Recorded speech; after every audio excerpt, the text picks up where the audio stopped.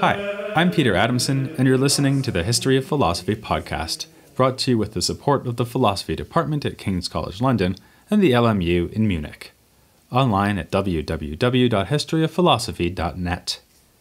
Today's episode Masters of the University Latin of Averroism. Consistency, wrote Ralph Waldo Emerson, is the hobgoblin of little minds.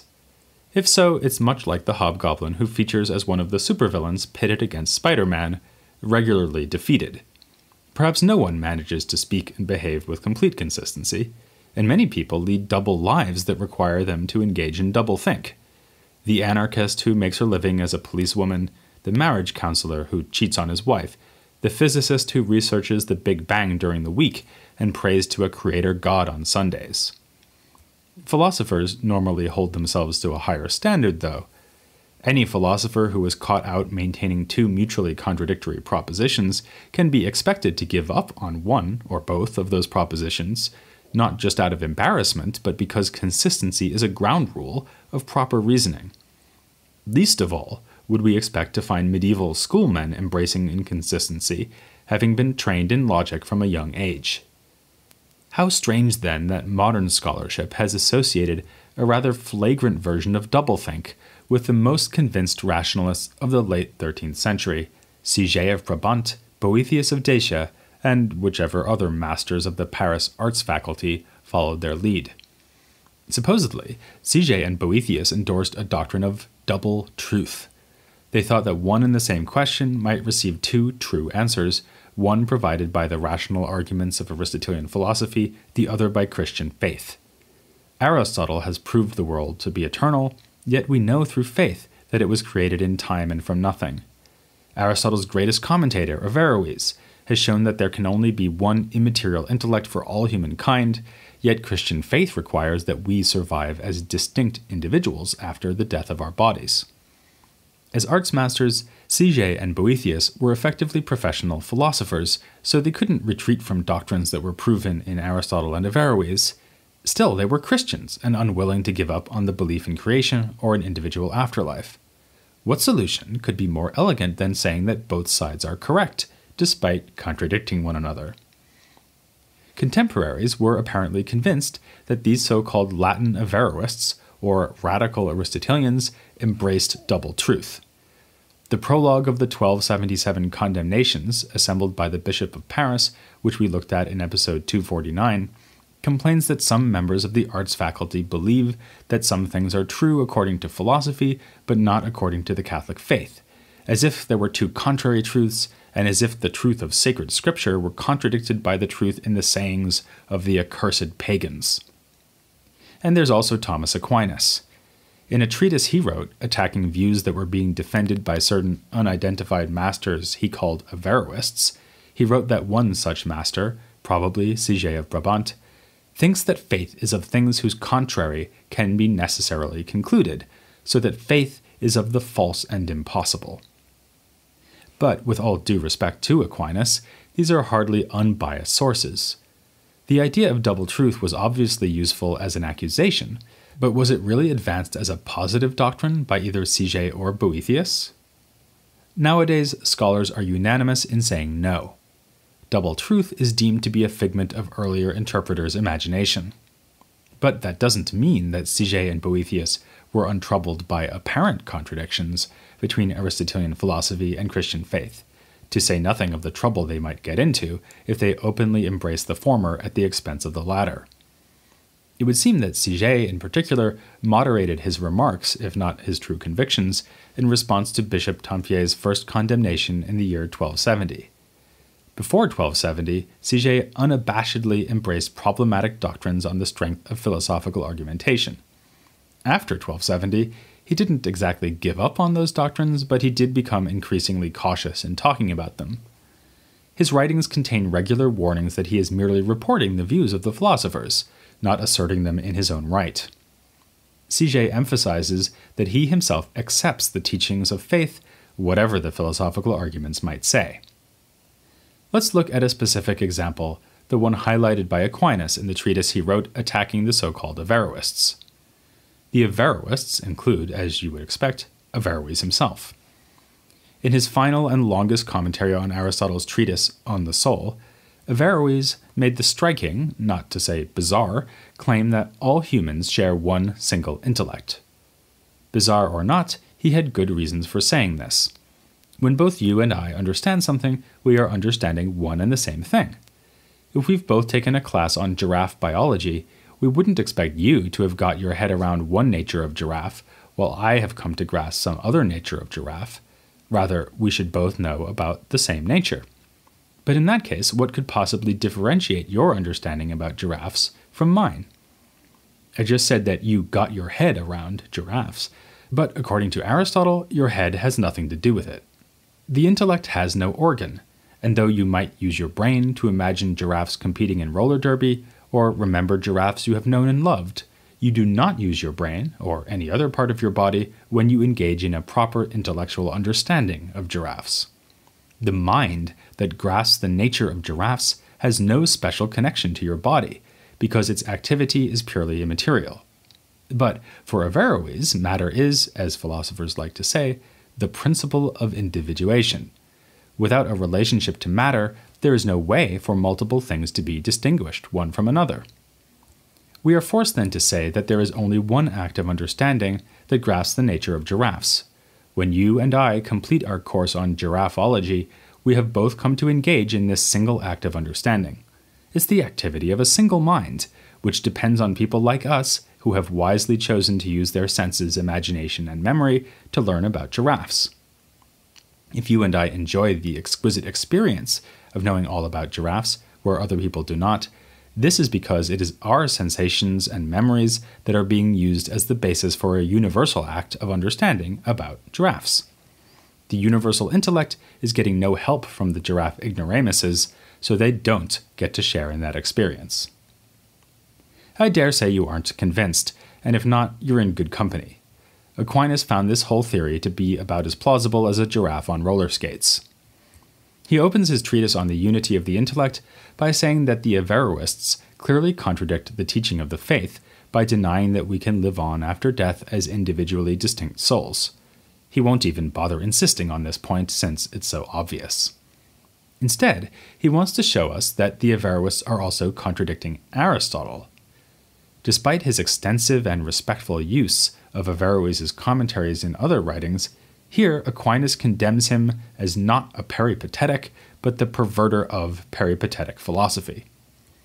In fact, you don't need either Aristotle or the Bible to realize that the notion of a single shared intellect is absurd.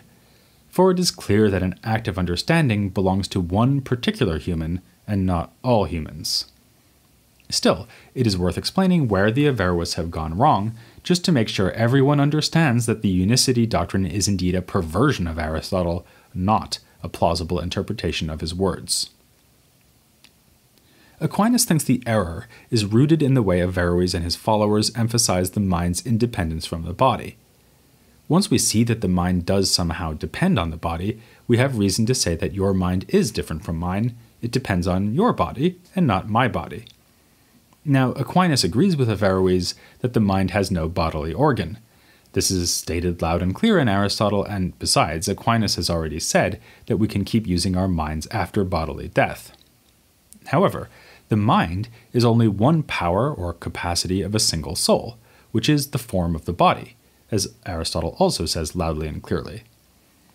Aquinas accuses the Averroists of violating this clear teaching of Aristotle by making the intellect completely different from the human soul, for them, it's as if we are beings with a soul and body who then occasionally get access to a free floating mind, like many computers accessing the same online content, or as Aquinas less anachronistically says, many people somehow seeing through a single eye. The irony, as we know from previous episodes, is that it is not the Averroists, but rather Aquinas who holds an unorthodox position on this score. Most 13th century thinkers did believe that the highest part of the soul, the part responsible for the activities of intellect and will, was a separate power or substance distinct from any forms that are seated in the body. So, when Siger defended such a pluralist idea about the soul, he was simply agreeing with mainstream scholastic ideas. Of course, it was far less mainstream for him to press on, following in the wake of Averroes, and point out that in that case there will be nothing to differentiate one separate intellect from another.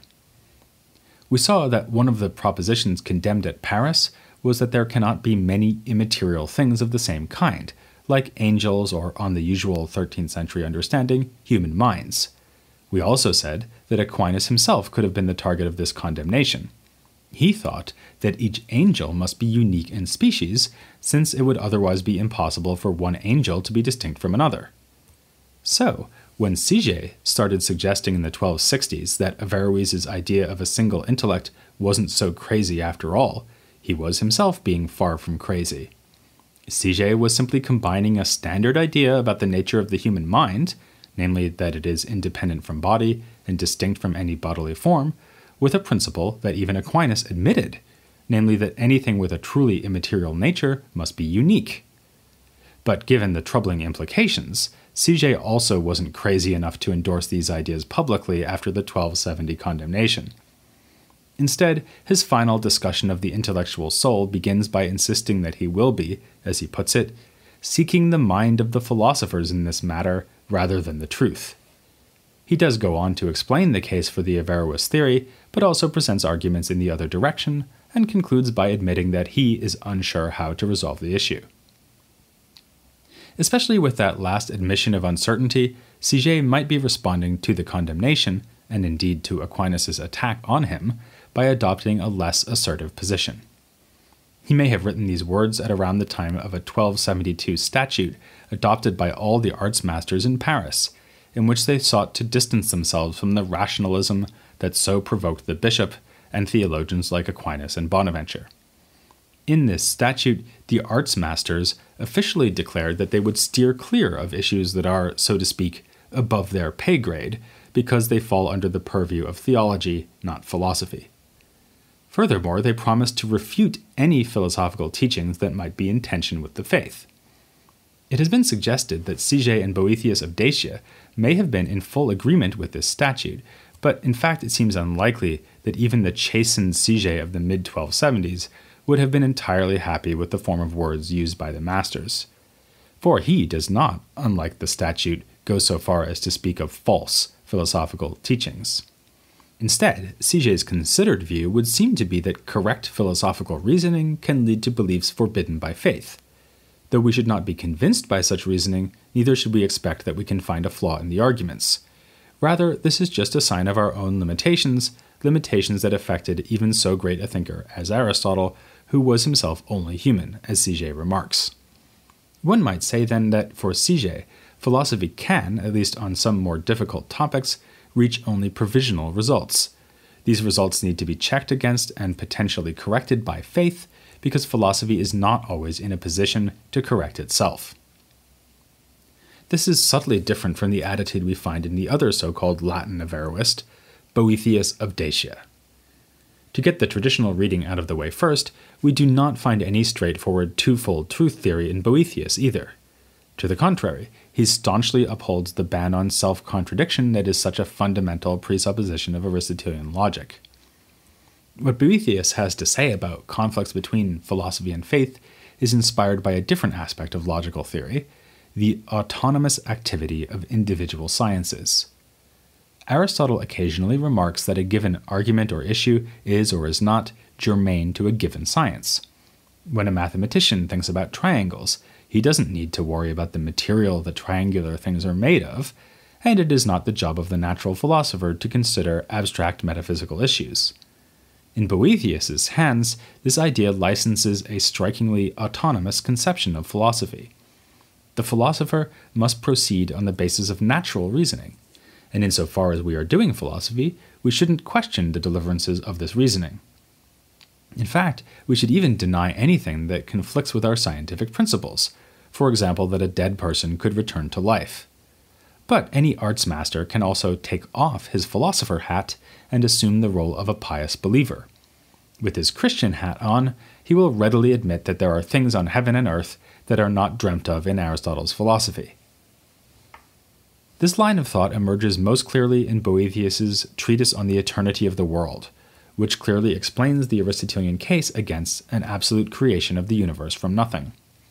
Within natural philosophy, no change can arise out of nothing, but must involve the realization of some pre existing capacity for change.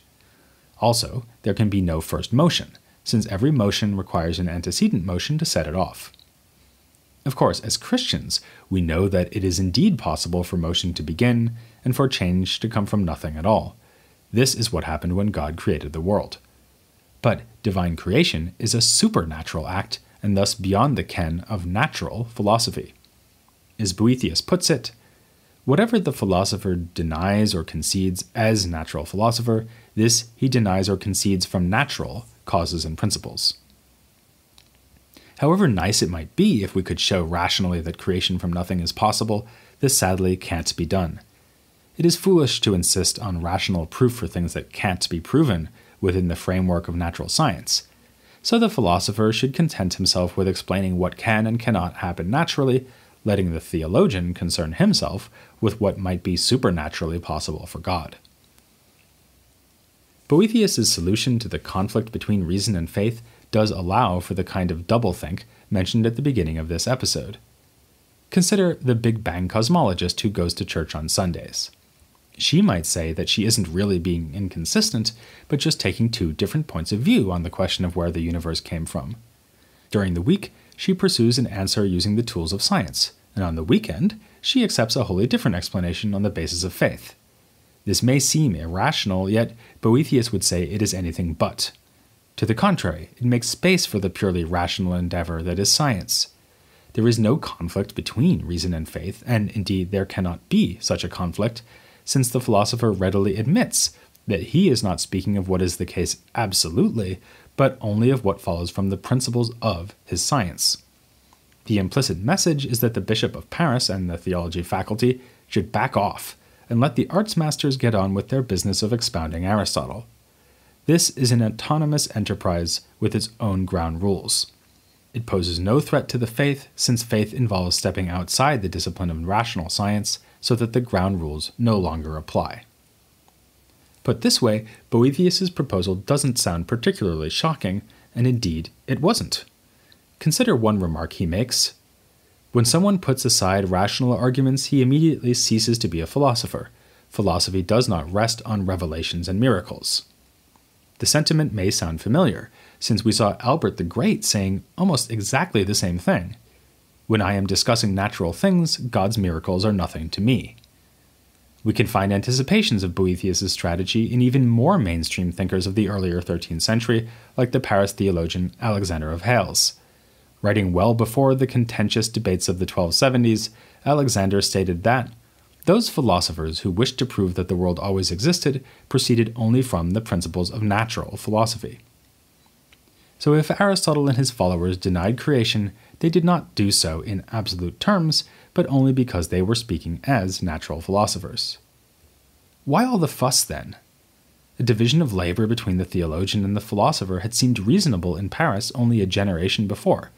Now, in the 1270s, it is tendentiously being presented as an admission that reason and faith reach two contradictory truths amidst accusations of error and heresy. To understand why, we need to distinguish between two groups of critics. On the one hand, there were men like Bonaventure and Bishop Tempier. They had no time for the subtle qualifications offered by Siger and Boethius. The caveats of the so called Averroists may have been sincere, but the fact remained that they were teaching teenaged university students how to prove the eternity of the world and unicity of the human intellect. Like Socrates' jurors, the Parisian authorities saw this as an open and shut case of philosophy corrupting the youth. An aggravating circumstance could be added to the charge sheet, too. I mentioned in passing in episode 249 that Bonaventure complained about contemporaries who thought happiness can be achieved fully in this life. While this complaint might apply to Albert the Great and Aquinas, both of whom recognized a limited form of earthly happiness, it makes more sense as an attack on the so called Averroists. Boethius of Dacia wrote a work called On the Supreme Good, which unhesitatingly takes the intellectual perfection of the philosophers to be the greatest aim of humankind. Very different, on the other hand, were the concerns of more philosophically minded critics of the arts masters like Albert and above all Thomas Aquinas. Their worry was that the Averroists were bringing philosophy itself into disrepute. As you'll hopefully recall from our first episode on Aquinas, he had his own way of understanding the relationship between natural reason and theology. For him, the two cooperate by making distinctive and valuable contributions to a unified body of demonstrative science. Human reason is augmented with the addition of new principles taken from revelation, but reason is never corrected or overridden by faith, as Boethius would have it. For Aquinas, reason does exactly what Aristotle promised it establishes necessary conclusions on the basis of indubitable first principles. And it would be a pretty poor necessary conclusion that comes with a footnote saying that it actually only holds when we are wearing our philosopher hats. In a sense, Aquinas' goal was the same as the one pursued by Siger and Boethius. All three sought to make space for pure rational inquiry within the institutional framework of the medieval university. Siger and Boethius attempted to do so by carefully qualifying their philosophical claims. Siger, stung by the condemnations, framed his exegesis of Aristotle with warnings about the limited competence of human reason. Boethius admitted that natural reasoning can always be trumped once supernatural phenomena are taken into account. But these were rather precarious ways of securing an autonomous role for science. Much better would be to show that science establishes truly reliable conclusions without having to worry that these conclusions will later be shown to admit of exceptions or just be outright false from the standpoint of faith. This was Aquinas' solution. He went so far as to integrate theology itself into a thoroughly Aristotelian picture of human knowledge, enthroning it as the new queen of the sciences, which both draws from and contributes to rational inquiry. In this respect, Aquinas was a more radical Aristotelian than either Boethius or Siger. But of course, it's one thing to promise that there are no conflicts between reason and faith, and quite another to show how apparent conflicts can be resolved. We've seen in this episode how Aquinas sought to do that in the case of the Averroist teaching on the intellect, but that leaves the much thornier issue of the eternity of the world.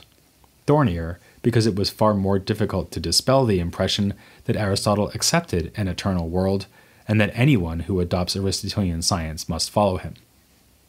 In past installments, We've looked at this issue in late antique philosophers like Philoponus and in thinkers of the Islamic world like Al-Kindi, Avicenna, Al-Ghazali, and Maimonides. If you want to review some of those episodes, then you should do so as soon as possible, because you don't have forever until we start to look at the eternity of the world in Aquinas and his contemporaries, here on The History of Philosophy without any gaps.